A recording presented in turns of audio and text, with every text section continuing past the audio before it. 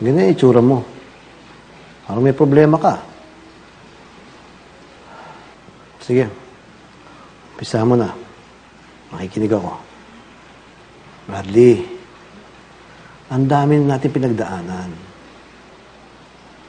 Ngayon ka pa maglilihim sa akin. Dad, huwag yun ang alamin. Hindi pwedeng ganyan. Lalo na mag-aalala sa'yo.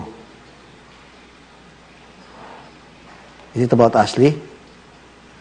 Kasi nakita ko siya kanina rito eh. Umiiyak. Hindi nga ako pinansin eh.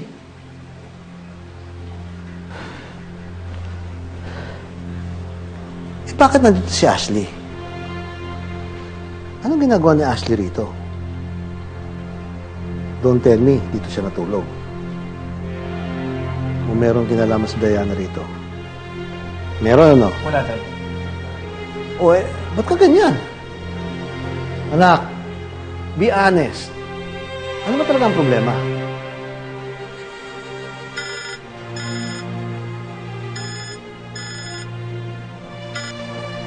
Hello?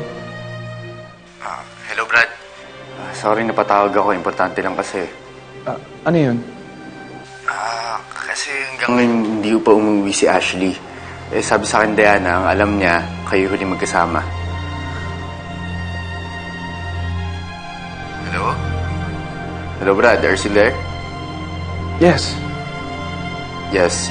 You mean kayo nga magkasama ni Ashley kagabi? So, nasa na siya? Magkasama pa rin ba kayo? Hello, Brad. Can you hear me? Oh, I can still hear you. Okay ka lang ba? Di ba sinasagot mga tanong ko eh? Yes, I'm fine. So, nasa na nga si Ashley? I don't know. Know. Eh, di ba sabi mo, kayong dalawang magkasama kagabi?